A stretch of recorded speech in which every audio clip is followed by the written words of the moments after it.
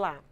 No ano de 2020, foi estabelecido um novo marco regulatório para o saneamento básico, que facilita a privatização do setor. Empresas públicas não poderão ser contratadas diretamente e devem disputar licitação com empresas privadas.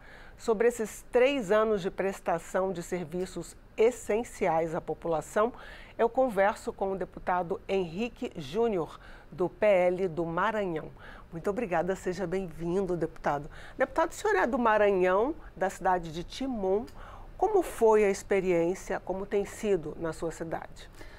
Em Timon, é, essa ideia já começou lá atrás, acho que ano de 2016, 2015, já foi privatizado o sistema de água e esgoto do nosso município. O sistema que estava meio defasado, é, veio uma empresa, privatizou o sistema em um contrato feito com a prefeitura. Nós tivemos alguns avanços, mas tivemos também algumas percas, inclusive na questão das cobranças abusivas. Eu tive a oportunidade de ser vereador da minha cidade de 2020, de 2017 a 2020, e eu fui uma das pessoas, vereador, que mais combateu a empresa Águas de Timon, a que presta o serviço lá na nossa cidade, por acreditar que existe muitos a, uma forma abusiva de cobrança, que fere o Código de Defesa do Consumidor, que não presta o serviço da melhor maneira possível. E o que mais nos intriga é essa questão do contrato. Quando o contrato é firmado entre a Prefeitura de Timon e uma empresa privada, eles não têm uma fiscalização muito grande e eles agem da maneira que acham correto, baseado num contrato firmado entre os dois. Então, nós avançamos, apresentamos alguns projetos de lei na época ainda de vereador da cidade de Timon, para que a gente pudesse regular e fiscalizar de perto essas ações. Então eu acredito que quando vem uma lei a partir de 2020, ela força mais a visibilidade, as pessoas têm mais conhecimento de como funcionar é, toda essa dinâmica de privatização de água e esgotos em todo o Brasil. Deputado, o senhor apresentou um projeto de lei, eu não sei se ele já foi protocolado, mas ele estava em fase de conclusão, né? Para fazer com que essa tarifa de esgoto ela seja mais justa para a população, é isso? Isso. É, eu assumi semana passada, ainda na quarta-feira, meu gabinete, graças a Deus, um gabinete muito arrojado, nós já sentamos, já iniciamos o planejamento, já estamos trabalhando em cima desse projeto para que a gente possa reduzir a taxa de esgoto em todo o Brasil. Ela é obrigatória hoje? Ela é obrigatória. As empresas são a maioria privatizadas, ela cobra uma taxa de esgoto, geralmente de 80% a 100%, e o que a gente quer é exatamente reduzir esse valor para até 50%, porque assim, é importante que exista o esgoto na cidade, traz desenvolvimento, traz mais saúde, as cidades precisam realmente ter essa qualidade no esgoto e na água, mas desde que seja cobrada de forma justa, que não seja abusiva, que não venha a ferir o Código de Defesa do Consumidor.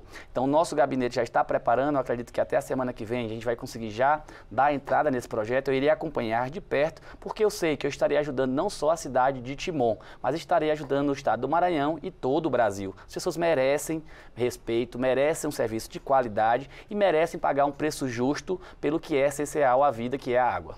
Agora, a gente estava conversando antes de começar a entrevista, o senhor me relatou uma situação bastante curiosa que é parecida com o mandato colaborativo, que é quando os deputados dividem, né?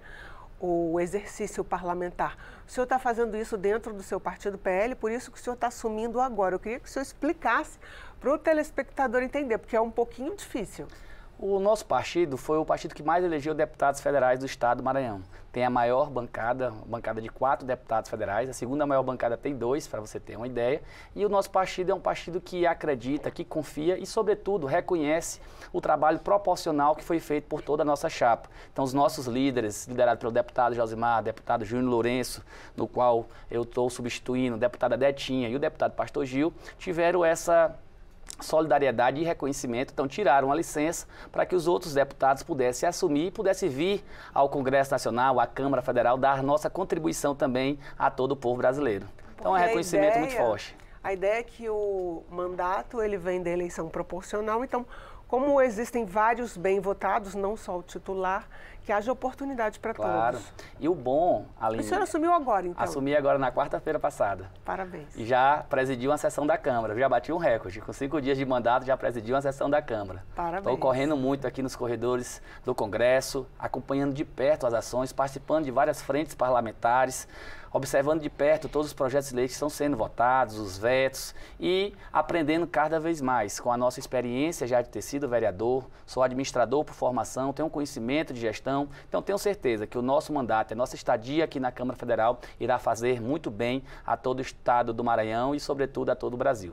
O senhor deve, então, querer fazer parte da Comissão de Defesa do Consumidor, com certeza. Com certeza, nossa equipe já fez o pedido e hoje já sou titular da Comissão de Saúde e já faço parte de outras frentes parlamentares, como a questão do hidrogênio verde, que busca energia limpa. E nós que somos de um estado muito fóstico, assim como o Maranhão, o Piauí o Ceará, que tem uma característica natural muito forte, eu acredito também que uma das nossas bandeiras será a questão do hidrogênio verde, que busca energia limpa, que busca é, dar mais vitalidade e uma vida mais longa a todos os seres humanos. Deputado, seja muito bem-vindo, então, que o seu mandato seja abençoado. Obrigado e que o senhor consiga ficar aqui até o finalzinho do mandato. Né? Quero voltar outras vezes aqui, já trazendo não só mais a proposta de projetos, mas sobretudo apresentar a todo o nosso povo projetos aprovados que irão realmente mudar a vida de cada cidadão brasileiro. Muito obrigado, volte sempre e um abraço para o povo lá do Maranhão. Obrigado. Obrigada. Eu conversei com o deputado Henrique Júnior, do PL do Maranhão. Muito obrigada pela sua companhia e até o próximo Palavra Aberta.